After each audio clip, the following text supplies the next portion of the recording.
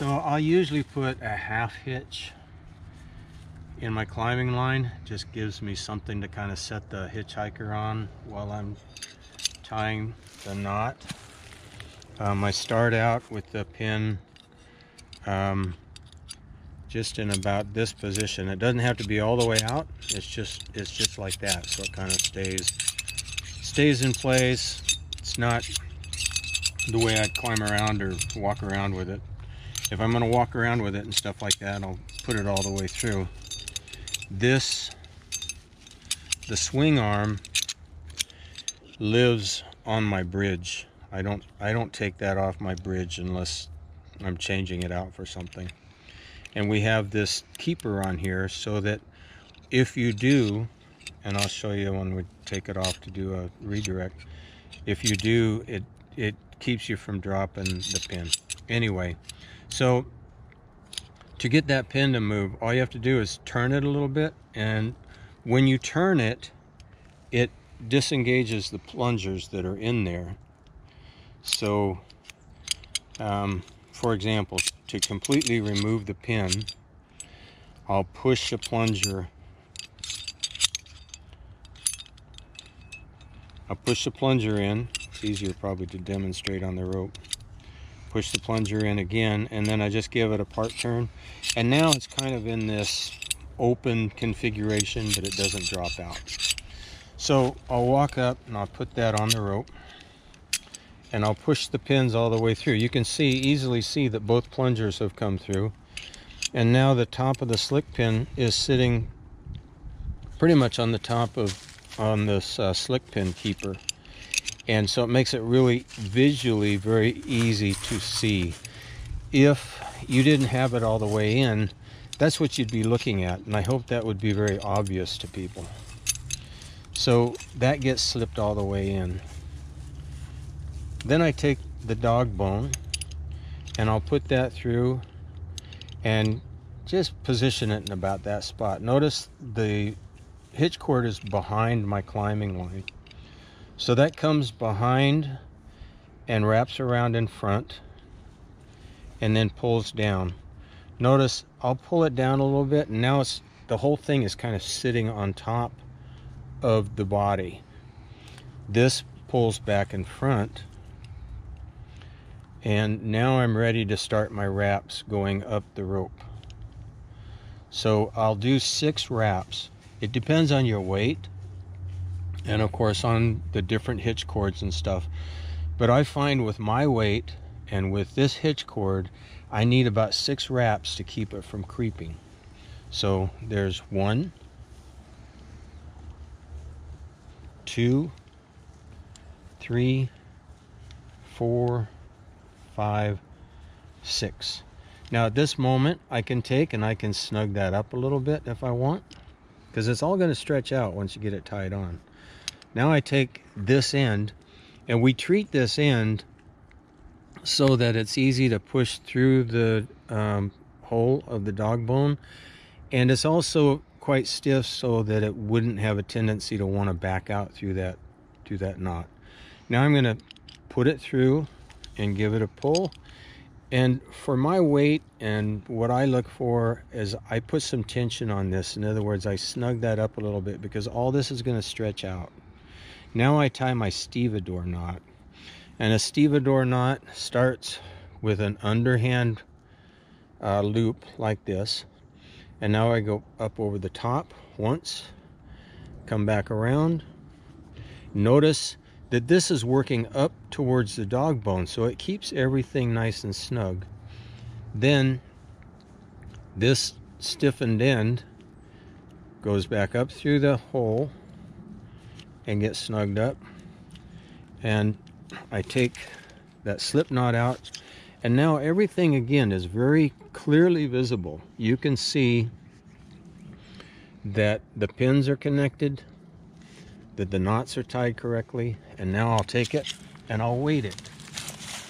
And I'll put all my weight on it and I'll make sure that it's holding myself snug.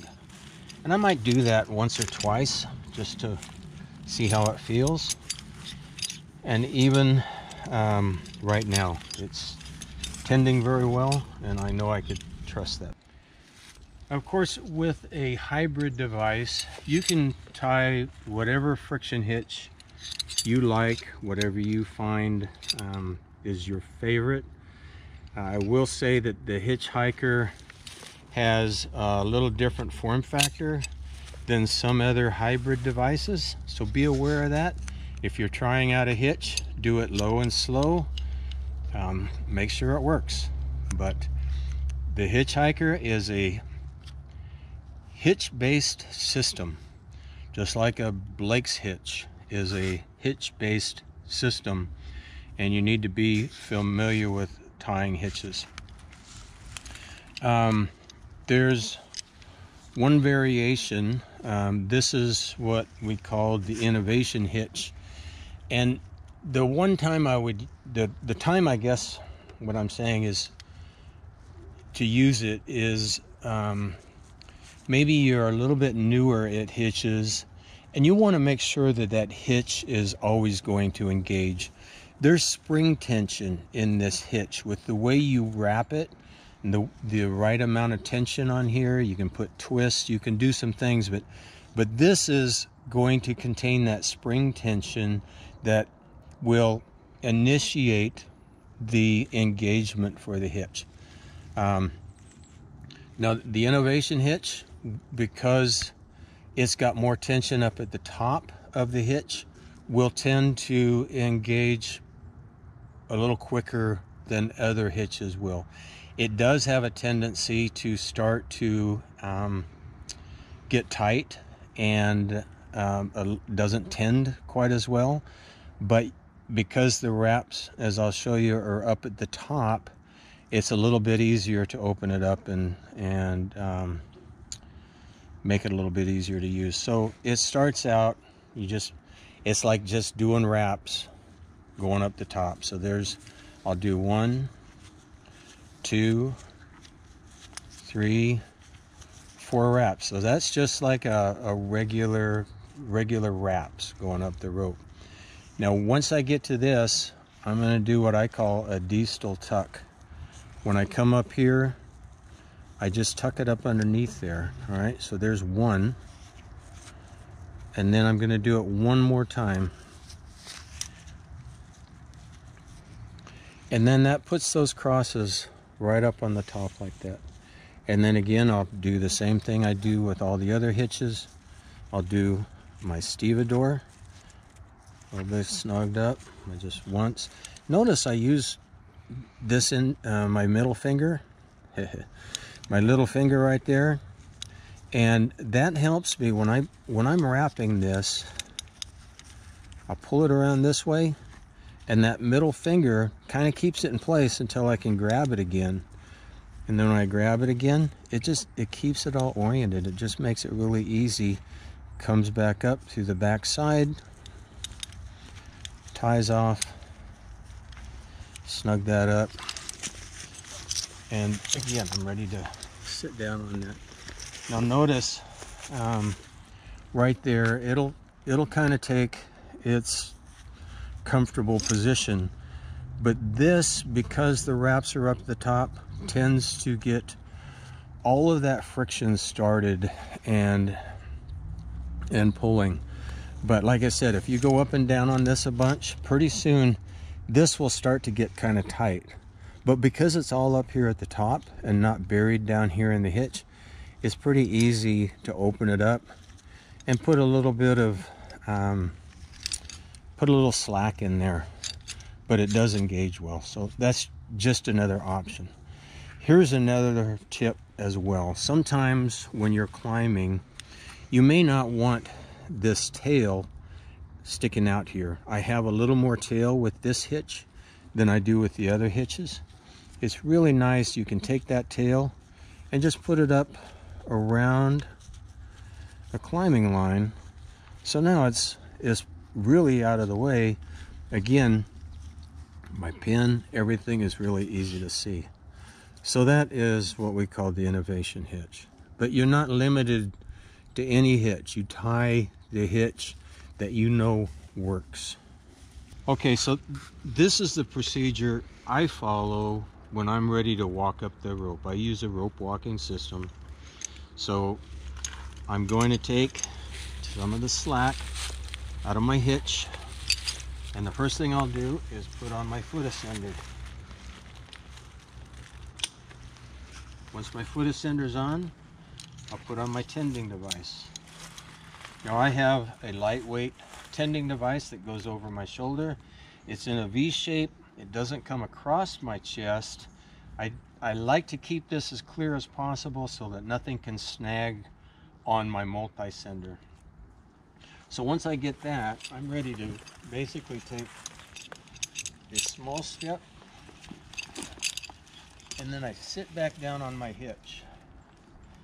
Now, when I do this, I'm checking that my leg straps are connected, my belt strap is connected,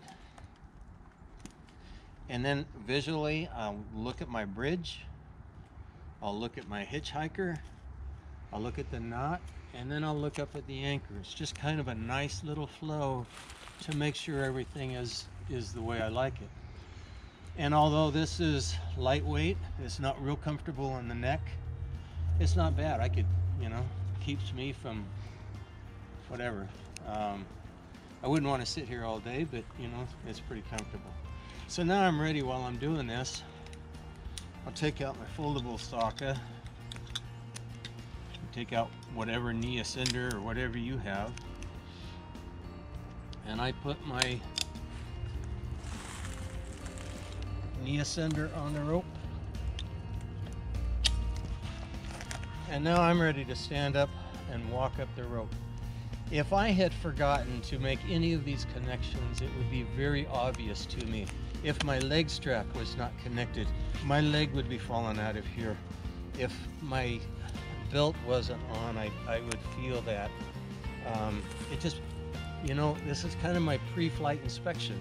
Um, you could do a checklist if you wanted. You can make it a verbal thing if you want. But I think it's important to set things up, take a moment, just take a good look before you start walking up the rope. Because it's possible to walk up the rope and not have any of these things connected properly and you wouldn't find out until you sat back or took your foot ascender off or something. That's not the time